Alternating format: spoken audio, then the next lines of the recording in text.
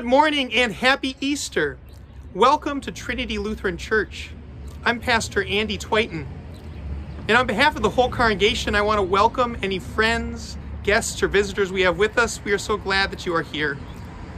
We hope that if you're visiting with us today, you might say hi in the comments so that we can welcome you directly.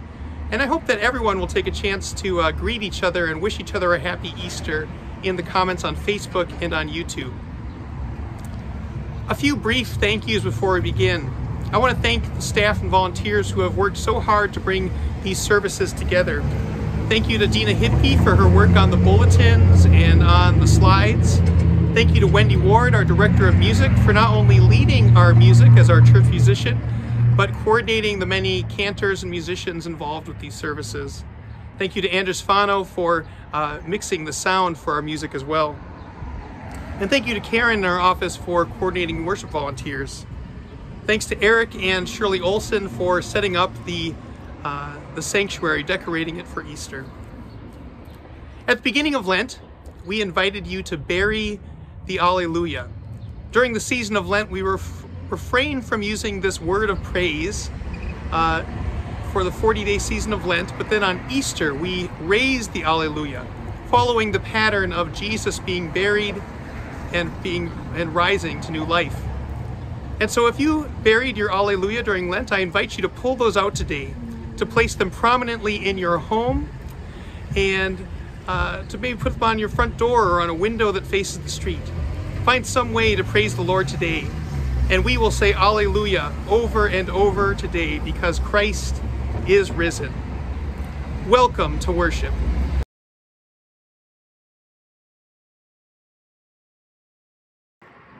Alleluia! Christ is risen. Christ is risen indeed. Alleluia. Hallelujah. Christ has risen. Christ is risen. Alleluia. Alleluia. Christ is risen. Christ has risen Risen. indeed. Christ. Hallelujah. Blessed be the Holy Trinity, one God, the fountain of living water, the rock who gave us birth. Amen. Joined to Christ with the waters of baptism, we are clothed with God's mercy and forgiveness. Let us give thanks for the gift of baptism.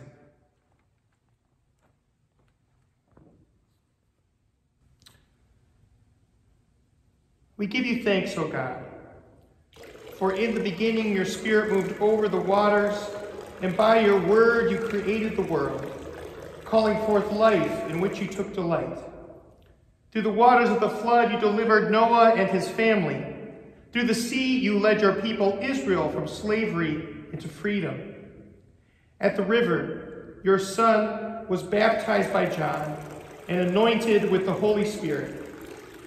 By water and the word, you claim us as daughters and sons, making us heirs of your promise and servants of all. We praise you for the gift of water that sustains life, and above all, we praise you for the gift of new life in Jesus Christ. Shower us with your Spirit. Renew us, renew our lives with your forgiveness, grace, and love. To you be given honor and praise through Jesus Christ, our Lord, in the unity of the Holy Spirit, now and forever. Amen.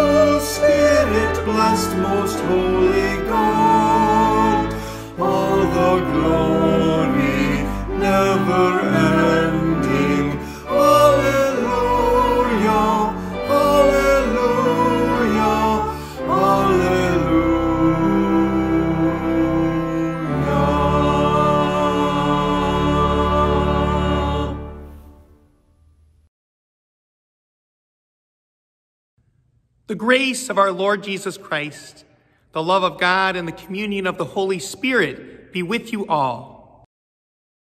And also with you. Let us pray. O God, you gave your only Son to suffer death on the cross for our redemption, and by his glorious resurrection you delivered us from the power of death. Make us die every day to sin, that we may live with him forever in the joy of the resurrection. Through your Son, Jesus Christ our Lord, who lives and reigns with you and the Holy Spirit, one God, now and forever.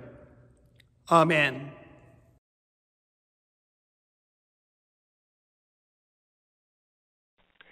The first lesson is from Acts chapter 10. Peter began to speak to the people. I truly understand that God shows no partiality, but in every nation, anyone who fears him and does what is right is acceptable to him. You know the message he sent to the people of Israel, preaching peace by Jesus Christ. He is the Lord of all. The message spread throughout Judea, beginning in Galilee after the baptism that John announced. How God anointed Jesus of Nazareth with the Holy Spirit and with power. How he went about doing good and healing all who were oppressed by the devil, for God was with him. We are witnesses to all that he did, both in Judea and in Jerusalem.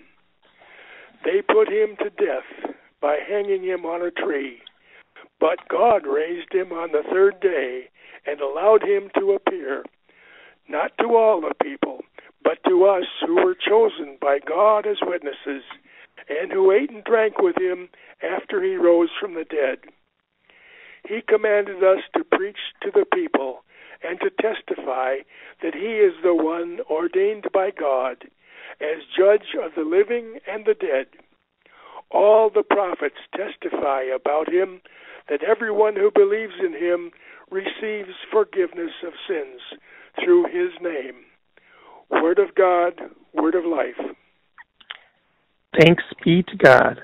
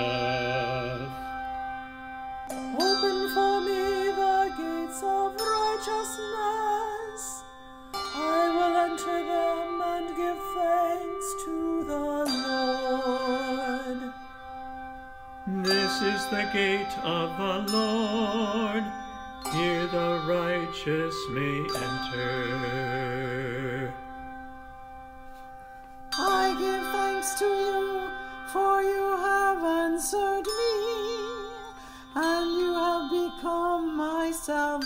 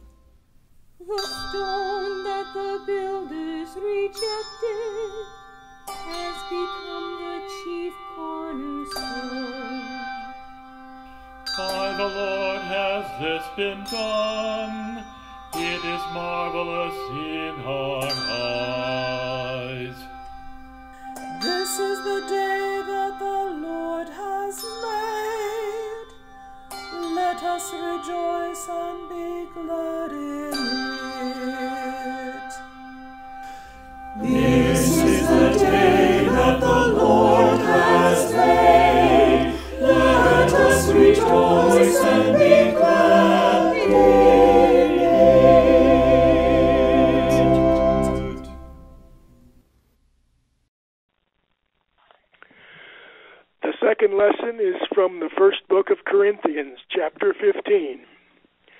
Now I would remind you, brothers and sisters, of the good news that I proclaimed to you, which you in turn received, in which you also stand, through which also you are being saved, if you are hold if you hold firmly to the message that I proclaimed to you, unless you have come to believe in vain.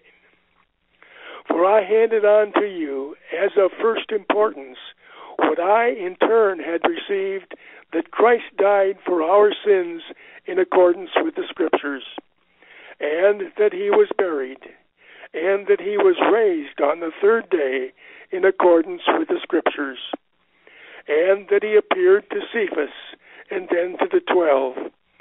Then he appeared to more than five hundred brothers and sisters at one time most of whom are still alive, though some have died.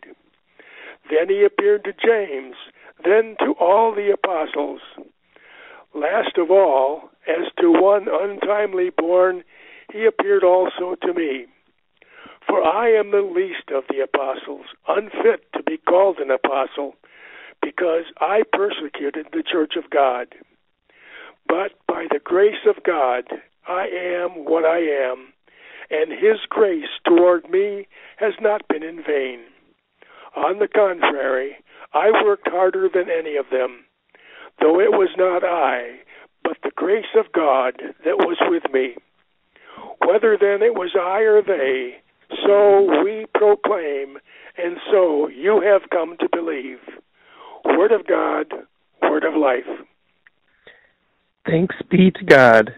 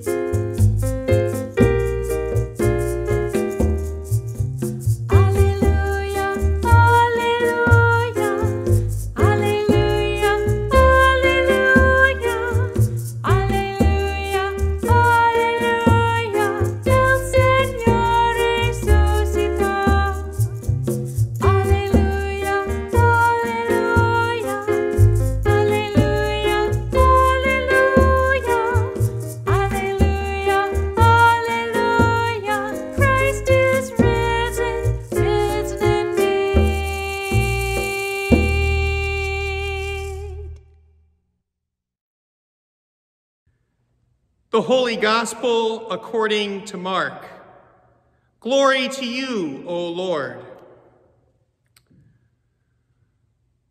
When the Sabbath was over, Mary Magdalene, Mary the mother of James, and Salome bought spices so that they might go and anoint him. And very early on the first day of the week, when the sun had risen, they went to the tomb. They had been saying to one another, Who will roll away the stone for us from the entrance of the tomb? When they looked up, they saw that the stone, which was very large, had already been rolled away. As they entered the tomb, they saw a young man dressed in a white robe sitting on the right side, and they were alarmed. But he said to them, Do not be alarmed. You are looking for Jesus of Nazareth, who was crucified. He has been raised. He is not here. Look, there is the place they laid him. But go tell his disciples and Peter that he is going ahead of you to Galilee.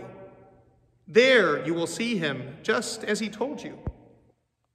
So they went out and fled from the tomb, for terror and amazement had seized them. And they said nothing to anyone, for they were afraid. The Gospel of the Lord. Praise to you, O Christ. So they went out and fled the tomb, for terror and amazement had seized them. And they said nothing to anyone, for they were afraid. It's kind of a strange ending to the story when you think about it.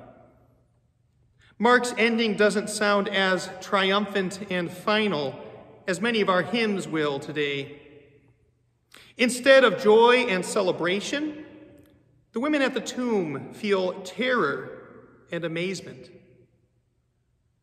And Mark leaves so many loose ends in his narrative, so many unanswered questions. For example, in Mark, there are no resurrection appearances. So we are left wondering if Jesus will really meet up with his disciples in Galilee. And there is nothing like reconciliation with Peter, like the one that you might find in John's Gospel. So we are left with only the taste of his denial in our mouths. Jesus doesn't speak Mary's name at the tomb in Mark. Jesus doesn't appear at all at the tomb. Instead, Mary, Mary, and Salome encounter an, an unusual young man in a white robe. And it gets stranger. The young man tells them to go and tell others. But instead of doing this, they run away in fear and tell no one about this experience. We're left wondering will they tell the others? Will they share their testimony? There is no, and they lived happily ever after at the end of Mark. All these questions are left hanging in the air. And I understand that grammatically in the Greek as well, it's almost as if Mark stops mid sentence in his thinking. This gospel doesn't end in an exclamation point, it ends in an ellipsis. For they were afraid, and it's like Mark writes a dot, dot, dot at the end. Maybe this leaves us wanting more. Maybe we feel like the story isn't quite over yet. Now, if you were to open your Bible to the end of Mark, you'd probably find sections labeled both the shorter ending of Mark and the longer ending of Mark.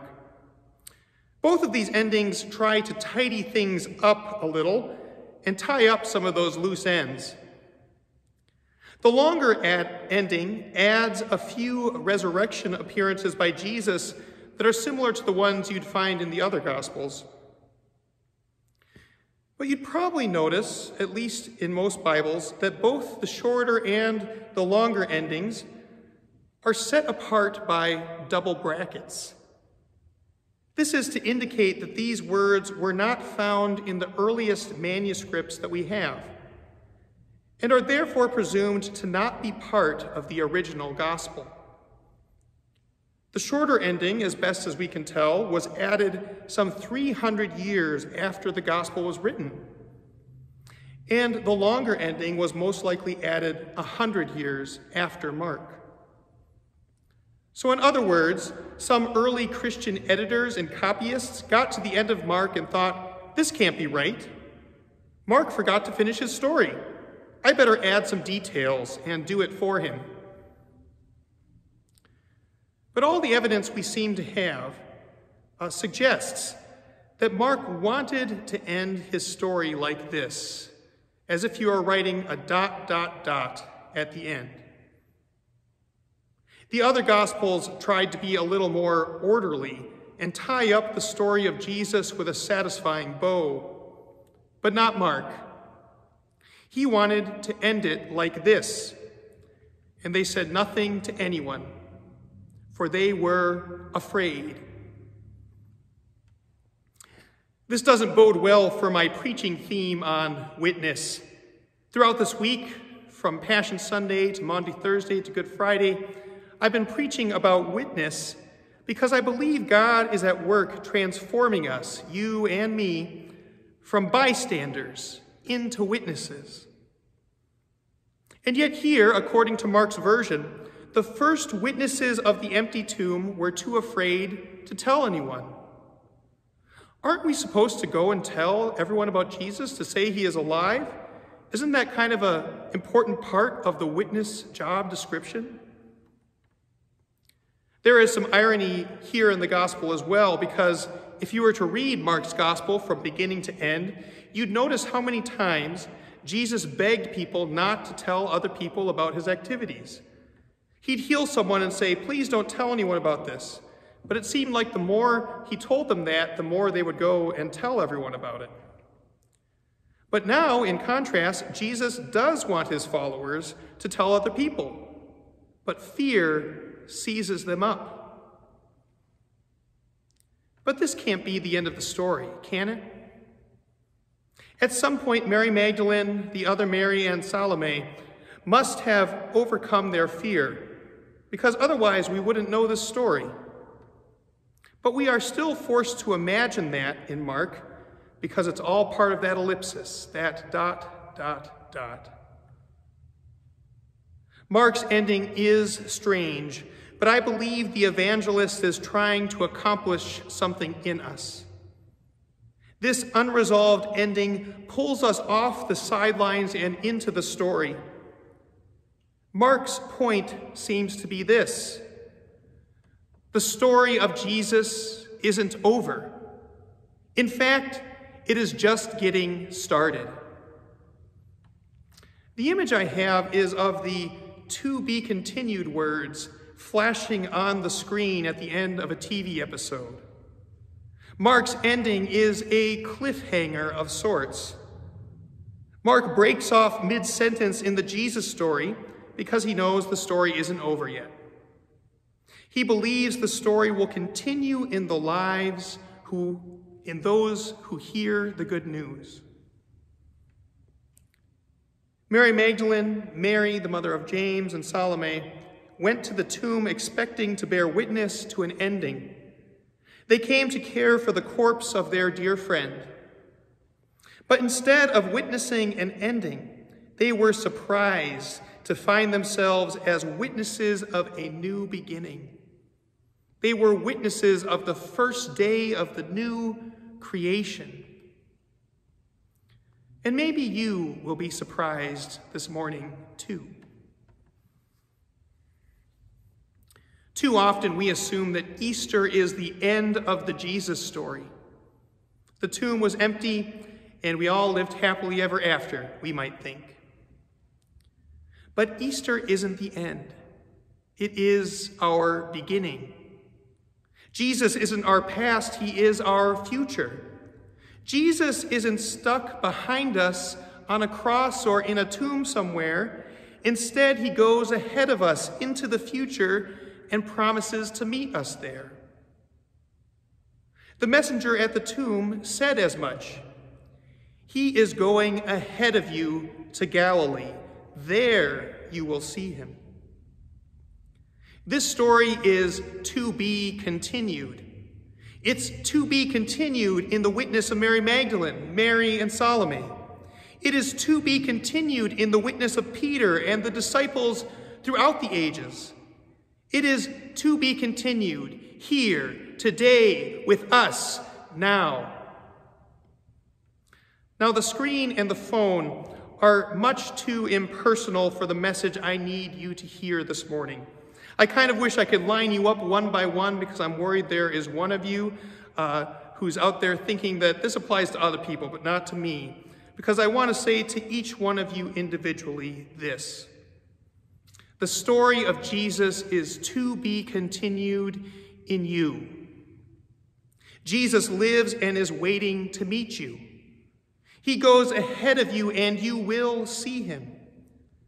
You will see the risen Lord in the gifts of Word and the Eucharist and baptism. You will see the risen Lord in the faces of your church family, the living body of Christ. You will see the risen Lord in places and among the people you would least expect, in the poor and the outcast. Jesus goes ahead of you. Now go and find him there. When Mark ends with fear and an ellipsis, it's like he is daring us to finish the story. We are bystanders no more, because like the women at the tomb, we are invited to overcome the fears that limit our testimony. The story of Jesus is not over. You will see him. Dare to be a witness today. Amen.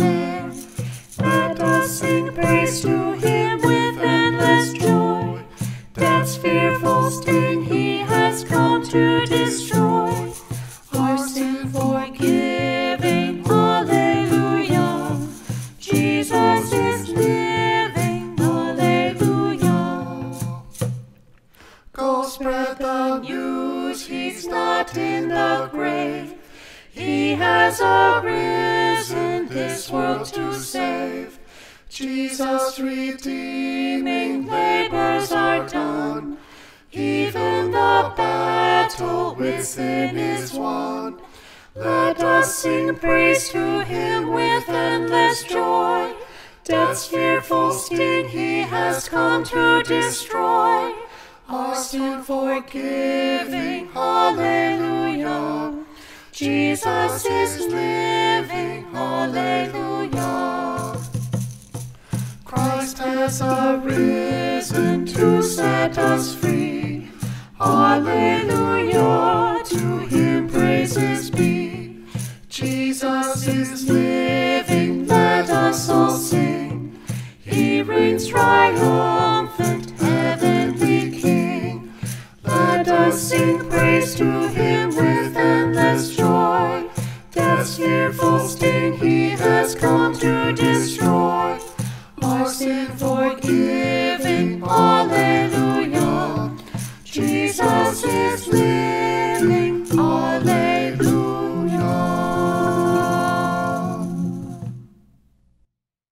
And now we confess our faith in the words of the Nicene Creed.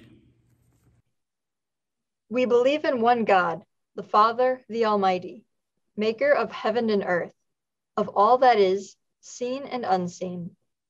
We believe in one Lord, Jesus Christ, the only Son of God, eternally begotten of the Father, God from God, light from light, true God from true God, begotten, not made, of one being with the Father.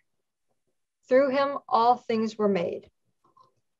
For us and for our salvation, he came down from heaven, was incarnate of the Holy Spirit and the Virgin Mary, and became truly human. For our sake, he was crucified under Pontius Pilate. He suffered death and was buried. On the third day, he rose again in accordance with the scriptures. He ascended into heaven and is seated at the right hand of the Father. He will come again in glory to judge the living and the dead, and his kingdom will have no end.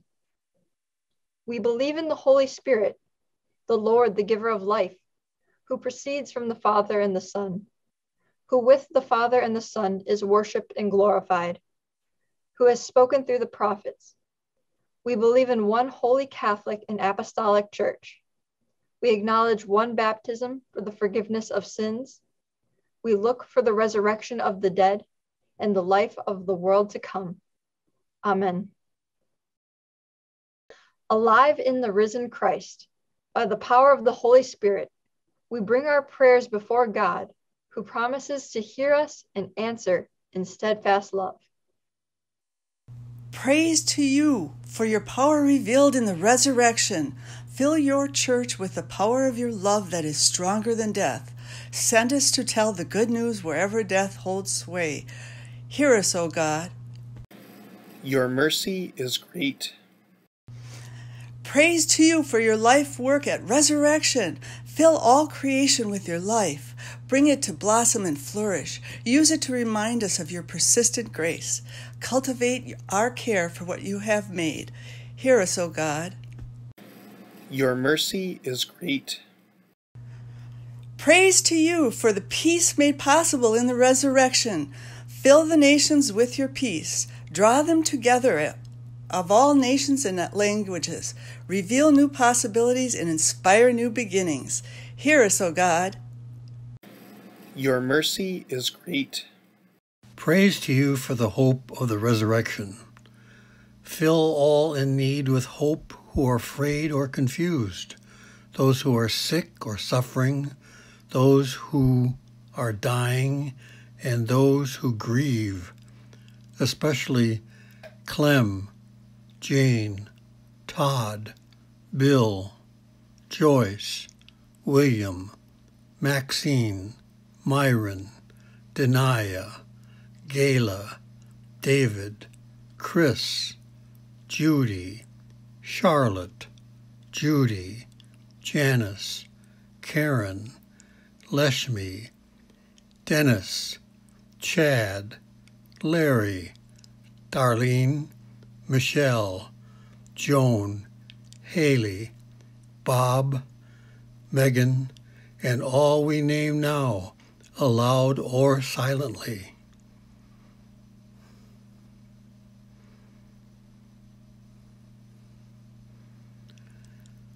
Assure them of your promises. Hear us, O God. Your mercy is great. Praise to you for the joy of your resurrection. Fill this assembly with joy as we are called your beloved in baptism. Multiply that joy so that we share it at home, at work, and in our community. Hear us, O God. Your mercy is great. Praise to you for your faithfulness revealed in the resurrection. Fill us with trust that we join with all who have gone before us in proclaiming your mercy endures forever. Hear us, O God. Your mercy is great. In the hope of new life in Christ, we raise our prayers to you, trusting in your never ending goodness and mercy through Jesus Christ our Lord. Amen. The peace of the Lord be with you always. And also with you. Take some time today to exchange a greeting of peace with each other today. Comment in the comments section, pick up the phone and make a phone call, send a text, send an email, find some way to exchange the peace and joy of Christ today. Peace be with you all, and happy Easter from Washington Park here in Chicago. Blessings to all of you. Peace be with you. Peace be with you. Peace be with you all till we meet. Wishing all the members of Trinity and families of Trinity a very happy Easter. Enjoy the day of the Lord. May God bless you all. See you in church. Peace be with you. Happy Easter. Happy Easter. Peace be with you.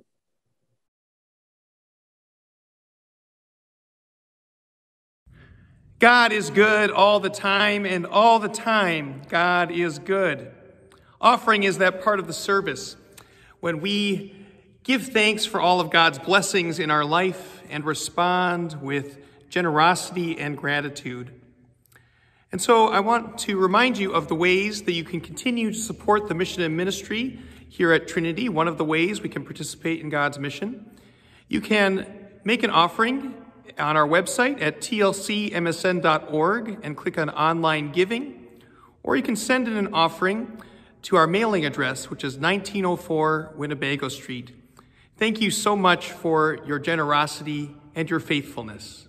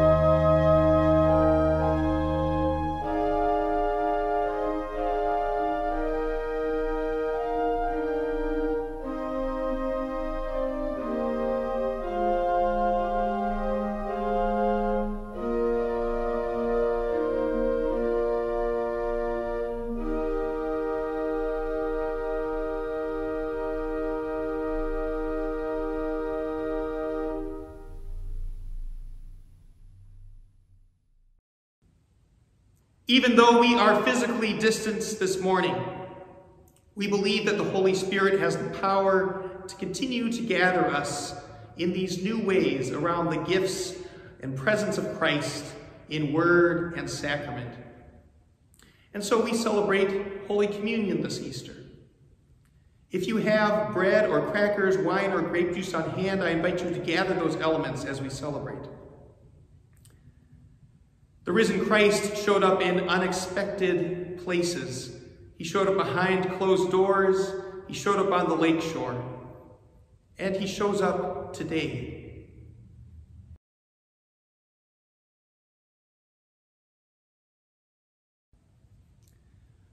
The Lord be with you.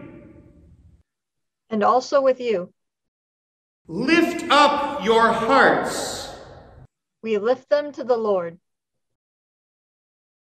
Let us give thanks to the Lord our God. It is right to give our thanks and praise. It is indeed right, our duty and our joy, that we should at all times and in all places give thanks and praise to you, Almighty and merciful God, through our Savior, Jesus Christ, the true paschal Lamb, who gave himself to take away our sin, who in dying has destroyed death, and in rising brought us to eternal life.